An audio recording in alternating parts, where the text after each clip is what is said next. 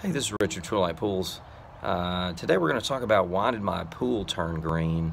Uh, so um, I get I get different questions. Uh, you know, I, I, hear different people say, and and lately um, I've had different uh, pool maintenance people at apartment complexes tell me, "Oh yeah, the pool turned green because the uh, pump stopped working," or I, I think several people their go-to answer is well there's too much sand in the in the in the filter or the filter it needs to get uh, you know that sand needs to get changed out. So that's that's why the pool turned green. No. No I'm sorry. No. So it, it that that's not the reason. Um, I've had other I've had other people say you know even if the if the pool pump stops Oh yeah, yeah. My pool pump. Uh, somebody called and and yeah, my pool pump stopped, so uh, my pool turned green.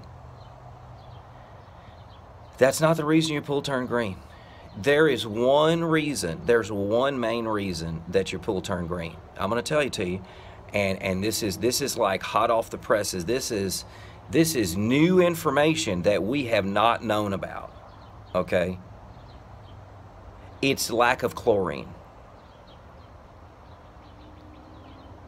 That's it. So did did did their pool if if their if their pump stopped working? Uh, does the pool need to turn green? No. The reason that your pool turned green is because you didn't put chlorine in it. Period. That's it.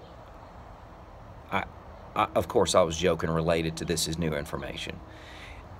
So the main reason that a pool turns green is not an equipment issue.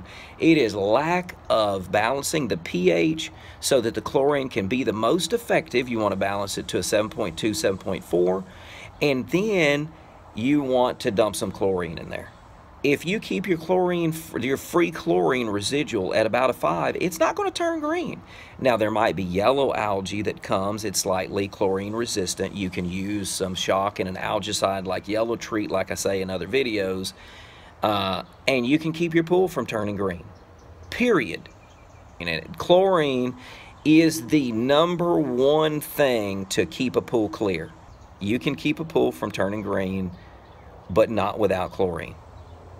You let it run out of chlorine in Texas, man, that pool's going to turn quick on you.